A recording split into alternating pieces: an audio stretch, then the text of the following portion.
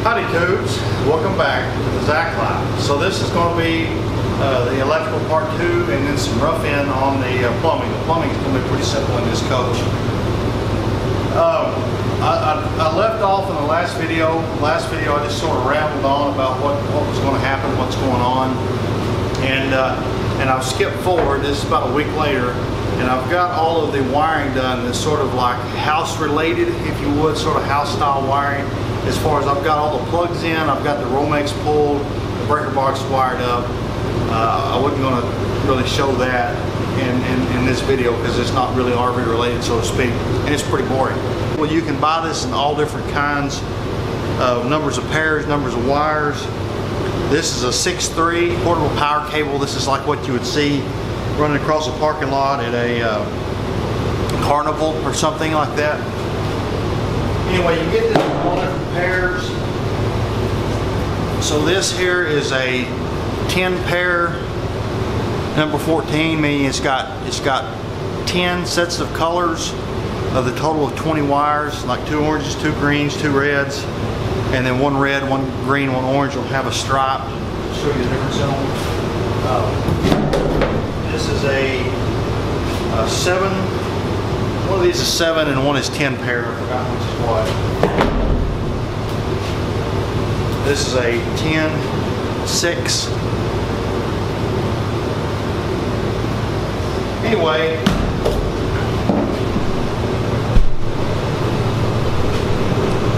there's a junction box right there. You can see that's the breaker box, that's the junction box. From that junction box, I'm going to run I'm going to run this OSSW cable every direction.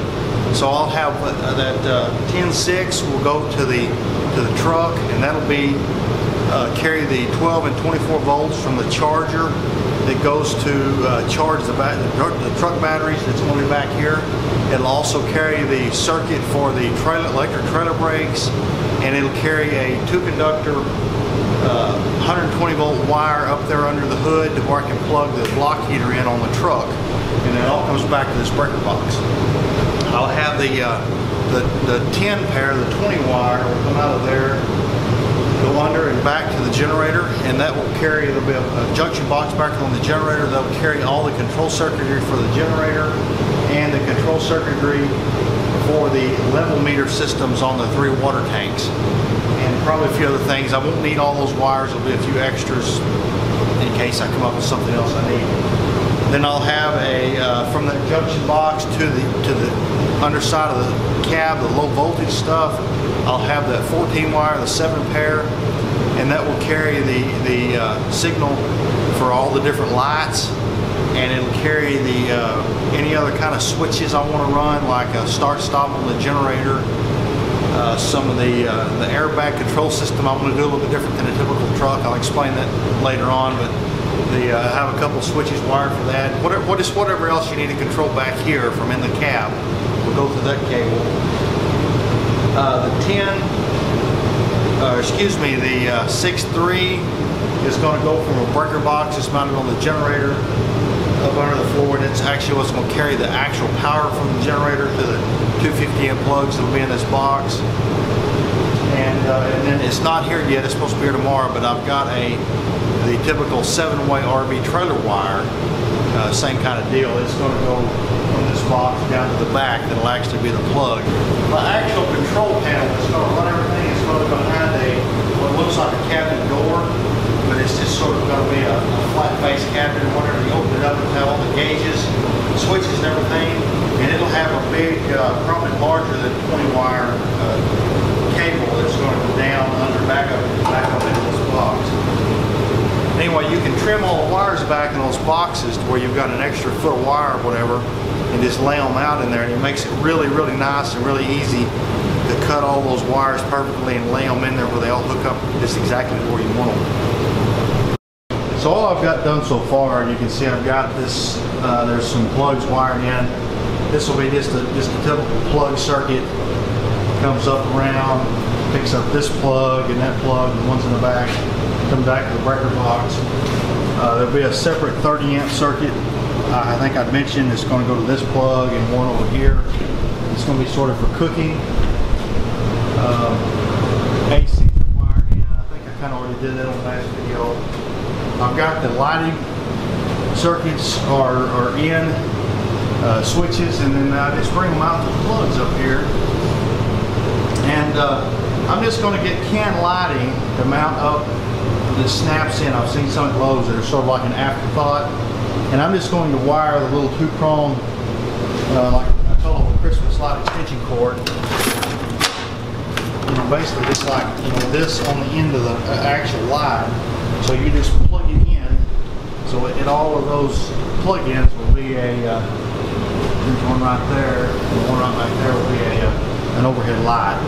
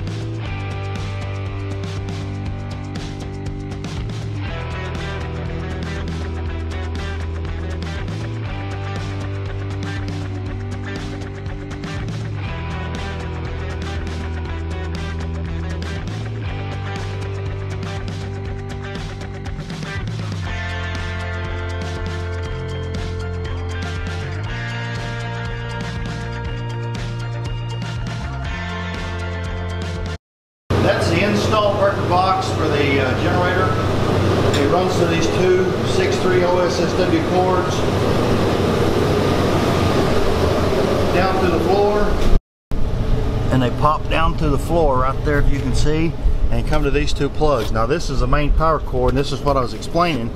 Normally this will be rolled up inside there and you'll simply plug the plug into one of these.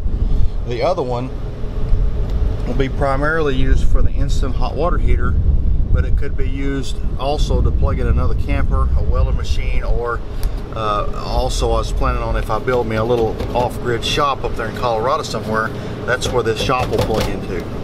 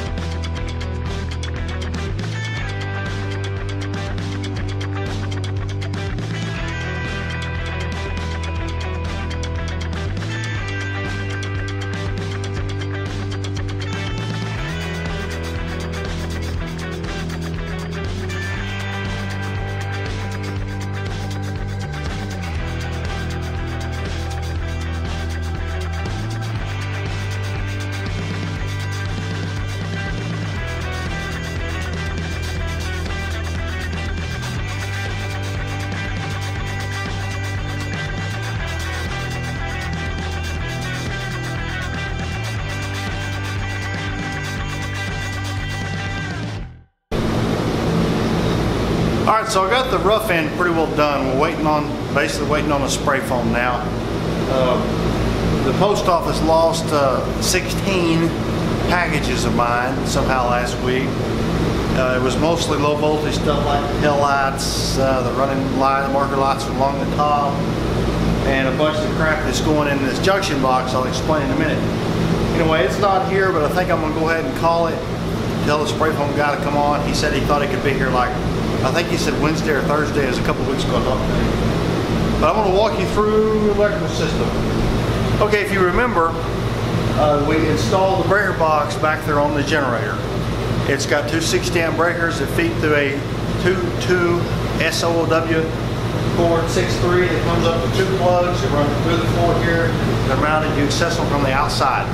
Our shore power cord will simply plug in to one of those plugs. You basically plug it into the generator. The shore power cord is this cord right here, comes up the floor into this breaker box. Now, we've got a breaker box right there. You've got a breaker box right there off camera. Between these two breaker boxes is another piece of OSSW cord, SOOW cord, I always say that backwards.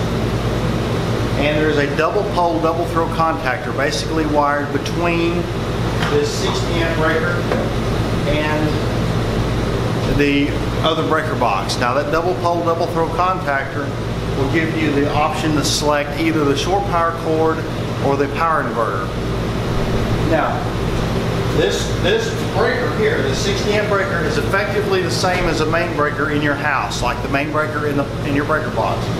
The only difference is, is they're in two separate boxes. The reason for that is, is when you, if you are running off inverter and you have something like, you pull up at someone's house or whatever, and the only, only option you have for power is a 15 amp, uh, just a regular plug-in, you can run off your inverter, plug this big 50 amp cord with a couple of dog bones into their house. And that'll power this breaker box, but not power the coach with that contactor switched to inverter. Now, I've got two smaller breakers here. These two smaller breakers will go through a set of switches, of control switches, to a set of, of converters to 120 to, to 24 volt DC converters. And what you'll be able to do is run your coach off your inverter, off your 24 volt battery bank. So if you want to do something like run an air conditioner, run a hot water heater, and run your griddle, and you need, you know, 35 or 40 amps, you'll be able to do all that for you know a short amount of time, you know, an hour or whatever you need to do to uh, you know to get what you need done. And you'll run off your battery bank, but that small little 15 amp charge circuit going through that converter when you're using less than 15 amps will put a net positive charge into your batteries.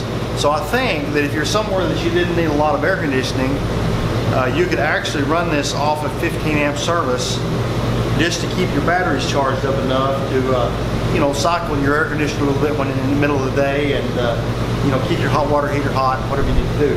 Anyway, that's the reason they, they, I've got two different breaker boxes, basically the main breaker in one box and the, and the, and the main box, if you would, in, in a different location, is because a double pole, double throw contactor splits them up and you can power your, uh, your chargers off this breaker box without having it automatically connected to your other breaker box. Also, if you get 30 amp service, I want to have two chargers so you'll be able to charge your uh, your your batteries at 100 amps, 28 volts, 2800 watts, basically. So I said this in the last video, and I'm going to say it again. In a motor coach like this, you've got to keep your neutrals and your grounds separate. This is especially true in a motor coach where you go to something like a RV park that's notorious for having underrated electrical systems. And so in an RV park, they may have something like a 90 degree rated wire where they'll have like a, you know, make up some numbers, like a number four, they're pulling a couple hundred amps through. And the voltage drop will be very high, especially if they're all sort of on the same side of either a three phase or a, a single phase system. And you may have, you know, 8 or 10 or 12 or 15 volts voltage drop in your neutral.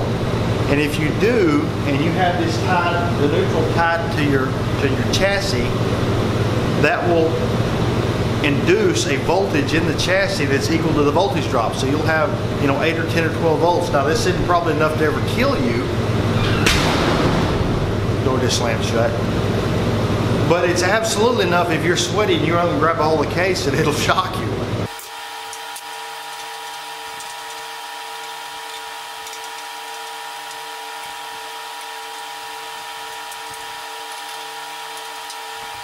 Okay, basically the, the conglomeration of my electrical conductors that's running through this thing. There's a few down on the ground and there's some up here. This is mostly the hardwired stuff.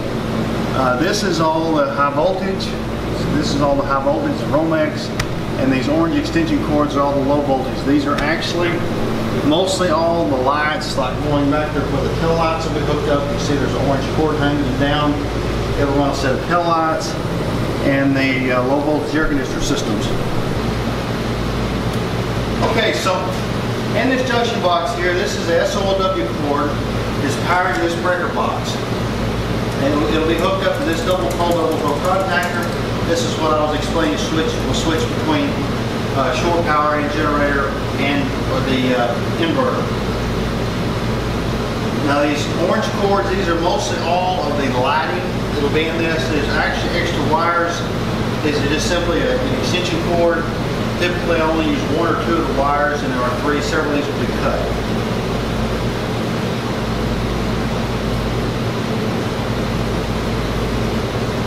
This bundle of wires here is an SOW cord. This will be the low voltage. Along with this cord here is the high voltage. It'll go to a switch panel right behind me. It's on this wall right behind me. It'll be all the switches and the and the gauges and the control systems. You know, turn the water heater off and on, start to kill the generator, the generator oil pressure, water temperature, etc., amps, current, whatever. That'll be what takes, you know, is the wires that run to the gauge control system. Uh, here's a set of conductors here. This will be basically the trigger lock plug. Uh, this cable is a number 10 6. It will go to the cab for higher current stuff like it will actually carry the current for the 12 and 24 volt battery charger to keep the front batteries hot. Uh, this, this one goes to the generator. This will be the control circuit here for the generator. Um, and then there's another smaller cord here bundled together two, two tied together here. And the smaller cord will go back to the back and it'll be the power for the uh, defroster, little heat strip deals for the crap tanks. And then it'll have another circuit for the water heater and additional circuit for the water pump. So I've got a, there's a bundle of air hoses here. I know this looks ridiculous too, but my life revolves around overkill. So the generator will be start, will be, will be killed and the speed control will be done with uh, a small pneumatic cylinders and there'll be some pneumatic air solenoids mounted under the floor here. Of these, uh, four of them will be the high speed, low speed, and start kill for the generator. And then there are uh, two of these will go to the step. The step will be pneumatically controlled with, a, with an air cylinder And then uh, I want to have a kind of sophisticated, I say sophisticated, maybe complicated is a better word, uh, control system for the airbags, for the air suspension this coach. And it basically has got an automated, it's basically got an, an automatic valve, leveling valve. It's called a leveling valve. It's pretty simple. It's mounted to the frame of the chassis and it's got a rod and a lever that works it. It's pretty simple, straightforward for the leveling of the air system.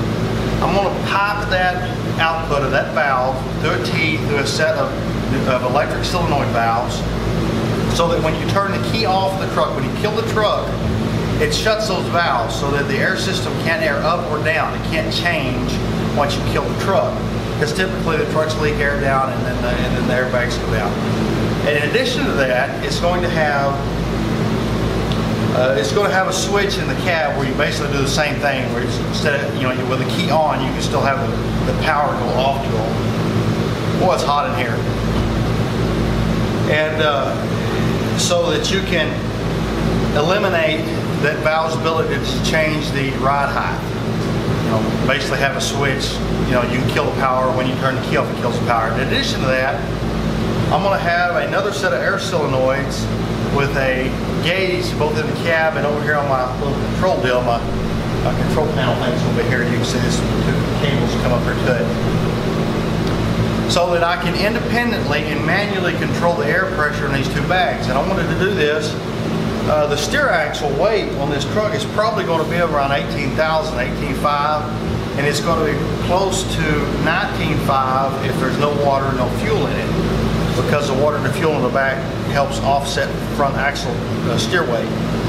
And what I wanted to be able to do is if uh, I get in a situation where if everything is empty, it's overweight, I can actually flip that switch, manually control the air systems, and put more weight on the front drive axle as compared to the rear drive axle to pull steer weight off this. I'll probably do this anyway going down the road in reason to get more weight off my steer axle just because I'm less worried about running 80 miles an hour uh, if I only had, you know, say 16,000 pounds on the steer axle instead of 19,000, just because the tires get hot, especially if it's hot outside. The, the other side of that is, is if I want to pull my backhoe trailer with my backhoe on it and have 10,000 pounds of tongue weight on the back of this thing, you know, what other coach could you have 10,000 pound tongue weight on? I'll need to do the opposite because it'll about have the front tires off the ground. I'll need to put more weight on the back drive axle as compared to the front axle. This will also give me the ability, once we're parked, to either raise or lower the rear end uh, by two and a half inches or something like that, either direction, up or down, if, uh, if we can use that to help us level it up a little bit. Uh, the, on, the only last thing to mention is I've got uh, the cable run